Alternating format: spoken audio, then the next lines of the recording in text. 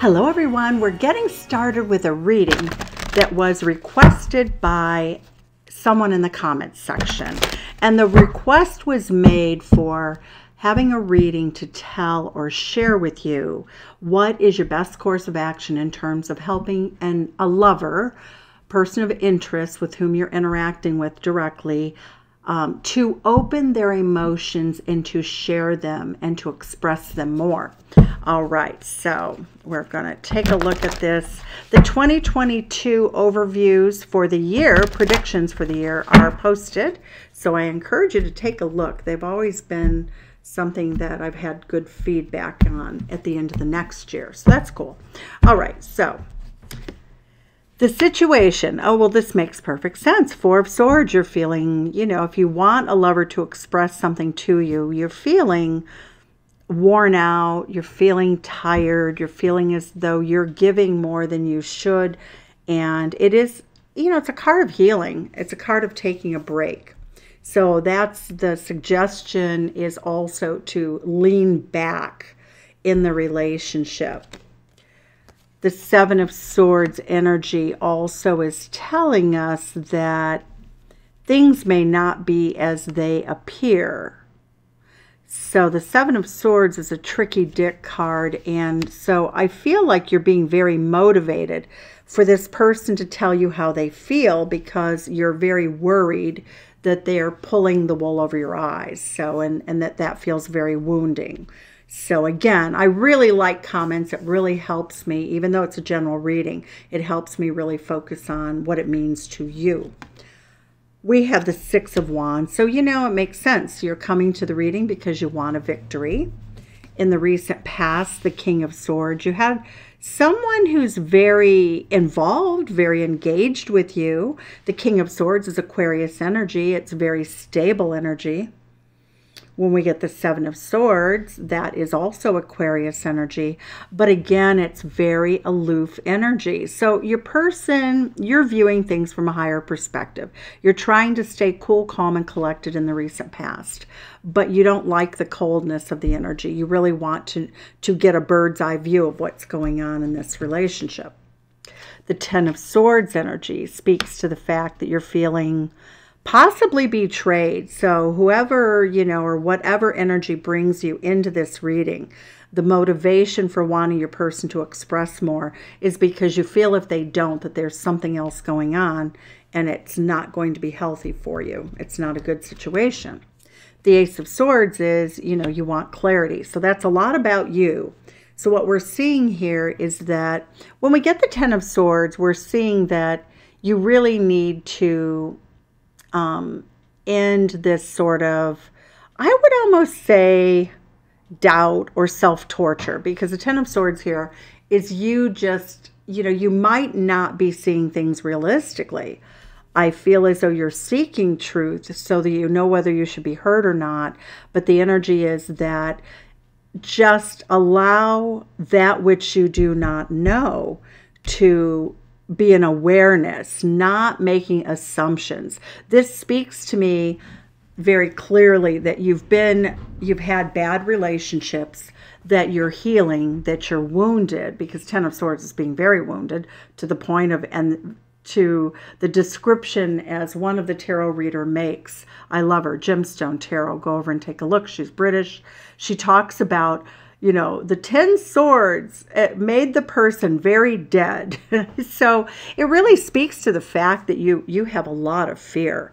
And so spirit in their wisdom is telling you to be like a detective, take a bird's eye view, be more detached. You have been at times, and be peaceful with your clarity because you can trust yourself.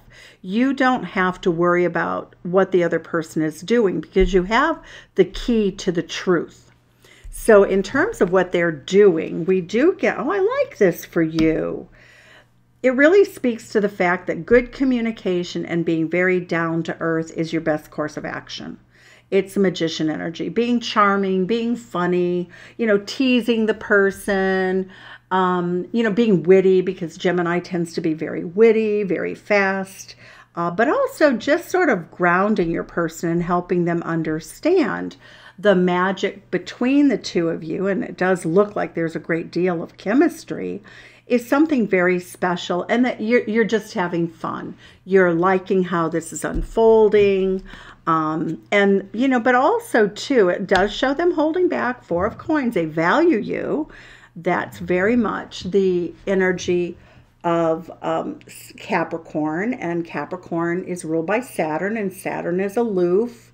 And Saturn tends to be a very paternalistic energy. So your person may have grown up feeling as though the definition of who they are is somebody who's very stoic so I don't see that as a person who's cheating. I see the two of you are in a very good relationship.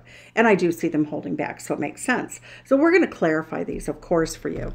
So we get the energy of the strength card. What's hidden in their energy is that they care about you very much. Uh, they physically show you their affection. You can see the lion. The number eight is the infinity symbol, so I feel like you've shared multiple lives with this person. Um, they're leaning into you. This is you, this is them. So they do have a lot of sort of lion hearted courage. Remember, if you look at the Wizard of Oz, the, the lion asks for a heart to have courage. So this person has very strong feelings for you. The Strength card couldn't possibly be a better card that signifies how they feel and let's see what your outcome card is for your advice. Six of Cups. Being very sweet, being very patient. Your person is healing from something. And so you just being in the energy of sweetness, kindness, loving, practical, down to earth, witty, funny, it really will encourage them to come out of their shell. So I wouldn't really have a highly direct sort of any sort of confrontational interaction with them, I would help them, I would help them remind them or help them remember that you know what makes the relationship so special is the fact that you have all of these common bonds that you have uh, you you have fun with this person that you feel like you you know both of you can count on each other that both of you are reliable that both of you are enjoying the relationship and that essentially just really you can see this woman looking down at the events and that's you. So you know give gratitude for what you have. The six of cups is scorpionic energy. A person is healing. We started with the healing card and so they're going through a transitional period. But what's beautiful is we have the South Node coming in. The South Node in astrology is karma. Your person is going to be the phoenix rising from the ashes, and they are going to lift themselves out of the energy of being wounded. They've been very cautious with you, they've been very careful with you, they have some fear. I don't see any treachery here whatsoever. I see someone who cares about you very deeply. But let's go ahead and clarify for you. The Seven of Swords is your perception that they could be tricking you. Um, for better or worse, you feel like you're healing from your own wounds too. So tell us about, let's go to the Four of Swords first. Why is the Four of Swords here? What healing energy or what could we tell you to enlighten you? Two of Swords. Okay. So it's really important in terms of the advice is to not bring your old wounds into this relationship. Don't make assumptions that because one person hurt you that another one will. And so often as a professional reader I hear, but Donna, I told the person how much these other people hurt me and then they hurt me. And the reality is is that a new person in your life or a new relationship is not somebody that you can you know, say, here are all my wounds and they're now your responsibility. now, I don't think that you do that at any kind of a conscious level. You're here because you're enlightened, you're a spiritual creature. But what I'm saying here is that it's very important that you stay neutral. The Two of Swords says, I'm not going to think the worst. I'm not going to think the best. I'm going to stay in this energy of clarity. I'm going to stay in this intellectual energy of um, Gemini, well, excuse me, it's uh, Libra energy.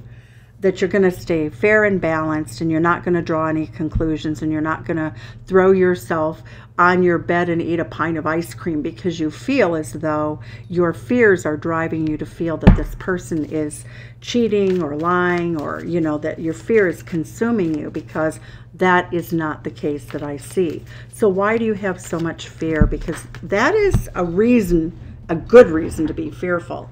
That 7 of swords, a snake and flowers you know, is not a very pleasant sight because it's a predatory energy. Snakes come and eat, you know, birds' eggs or whatever. The chariot card, okay. It's moving very quickly is why I'm seeing that you're a little bit concerned. So I would also say that when you are you're moving very quickly to try to make sure this person isn't predatory, but the the advice here is to this is Cancerian energy to trust your instincts more. You know, Cancerian energy is very intuitive, it's very homebound. Seven of Wands says that it's okay for you to keep your guard up, but don't assume the worst because that's what that's what appears to be happening here. The relationship is moving forward quickly and for most I'm going to say masculine energy more than feminine energy most masculine energy that I've experienced, at least in my readings with my clients and in my own life, is that masculine energy tends not to open up until they're ready to fully commit, up to and including marriage. And I know that seems very odd to, you know, many people, but it's it's what I witness all the time, whether it's what we want or not. I, I have made that observation. Um, it's not true for everybody, but temperance card. So spirit is saying that you will have a victory to temper your expectations, be very balanced. You know, at the end of the day, you're not going to value this admission of love unless they come forward and do it on their own. And you know that. Intellectually, emotionally, you know that's absolutely true. Why do you want the bird's eye view? You're, you know, looks like this energy that when somebody was cold to you before, what happened? Nine of Coins. You stayed single. So when people don't talk to you, when they hold back, you have a tendency to feel like the relationship can't go anywhere. That okay. Interestingly enough, this is Virgo energy. You know, you're looking, you're seeking wisdom, which is what a reading is. So I really like this for you. I actually like, that. it was a great question to ask. I can't remember exactly who asked it, but I'm so appreciative when you make suggestions in the comment sections. Uh, it's really helpful to me. Thank you. So, Ten of Swords. Why do you have the Ten of Swords? Yeah, the Tower card. Somebody really lambasted you with a very unpleasant truth what I'm getting here is that you were confronted very suddenly with this person telling you you thought you were having a relationship with a person in the past. You thought you had a victory. You thought things were going to work out. And they suddenly basically turned on you and said, oh, no, no, no, no, no, no. So that's the why, you know. But let's look at the Ace of Swords. So it's it really is understandable. But the message here is do not let interactions with other people throw a shadow over your emotional well-being. Take the time to do that healing work. Meditate, start a gratitude practice. Understand the person that you're with really loves you. They really love you. So why do we have the Ace of Swords? You have clarity going forward. Within the next six weeks, it looks like you have resolution about why somebody left you, about why you left a situation. I feel actually that you left a situation that was very unhealthy for you and good for you that you did. So, you know, some of the message here is to trust yourself to do the right thing if somebody shows up in a very ugly way in your life. If somebody shows up as being nefarious, trust yourself because you have the key. You will leave. You really are not going to allow yourself to put up with that. You aren't. So, trusting yourself that you know that if you feel that moment when that things are not as they seemed, that you'll just simply walk away and you'll do it with dignity. You'll heal yourself, which is what you're doing right now. Tell us more about this. Yep, we have the Son of Pentacles. So you'll just, the advice here is to take it slow and easy. It's Virgo energy, day in, day out. We have Virgo energy here. You know, this is a clarify for, clarifier for your clarity. That's a little redundant. But what we're seeing here is be practical, be grounded, be down to earth, move slowly, get take time to get to know people.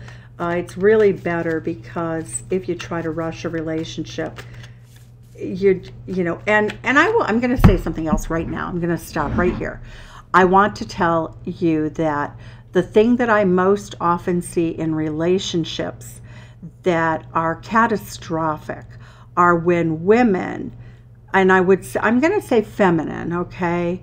But what I witness a lot is that very big Don Juan types very rogue types of archetypical masculine energy will come in, they'll love bomb you, they'll convince you that, you know, they'll get, bring all these flowers and they'll be flowery and they'll say things way too early about, I think you're my soulmate or I think I want to marry you.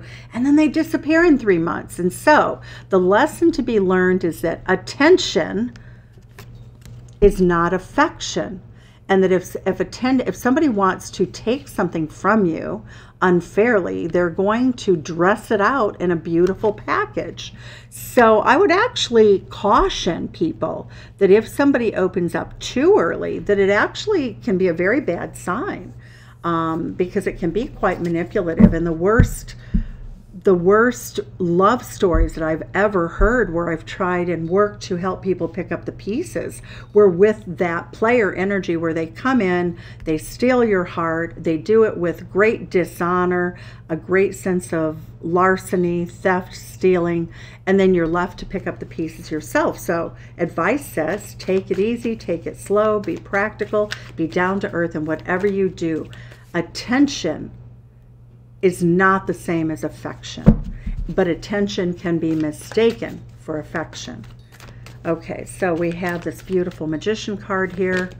We have the Six of Swords energy. So you are healing. Both of you are healing. Both of you are in a good place. Both of you are very happy. You're very grounded. You're moving forward. The Two of Coins says that both of you are in the energy of making new life decisions. You're on the precipice of a new beginning in terms of, you know, I feel like your partner might have been juggled also, but you're making a decision. You haven't made it quite yet, but you're starting anew. You're starting in a very grounded energy. You don't know what direction it's going to go in yet. And we get the energy that you, this new beginning is coming about after having been left in the cold, after having gone through all of this energy. The healing is bringing strength so your advice for each of you to open up and for your person to open up is they have to finish healing. And that takes time. The Four of Coins says that we have the Daughter of Swords, so the Page of Swords speaks to the fact that your person's very well aware they are healing, they are keeping their defenses up a little bit, but they are holding on to you. You know, that's good energy. Your person has some clarity of their own too. And the sun card, there we go. Yay! I would have to say they will tell you. In due time, this person knows that you're the one for them. They will tell you, they will share that energy. The sun energy is the happiest card in the deck. It's reversed. It just means it takes a little bit longer than what you hope that it takes, okay? I'm seeing that this person will open up to you. I feel the number 19 reversed is probably at about 20 weeks out. So that's four to five months. It looks like they really open up. They open up and they tell you everything. the Ten of Coins. What does this person want with you? They want legacy love with you. They want marriage with you. They want stability. We have the Strength card and Virgo energy. Again, you're both very practical. You're both very loving. You're, you're going to go the distance here. The Six of Cups is both of you are reminding each other, and you could have known each other from long ago. This is a soulmate card so this may be somebody that you knew for a lot of years and then you you know they contacted you or you contacted them on facebook or social media. Eight of wands oh very beautiful passionate love lots of communication moving forward very quickly once you come together in this um, in this healed energy that the two of you are experiencing. So that's what I have for you in terms of the advice. Thank you so much for watching. You love from Chicago. Send some back. Let me know where you're from. Thank you. Bye bye.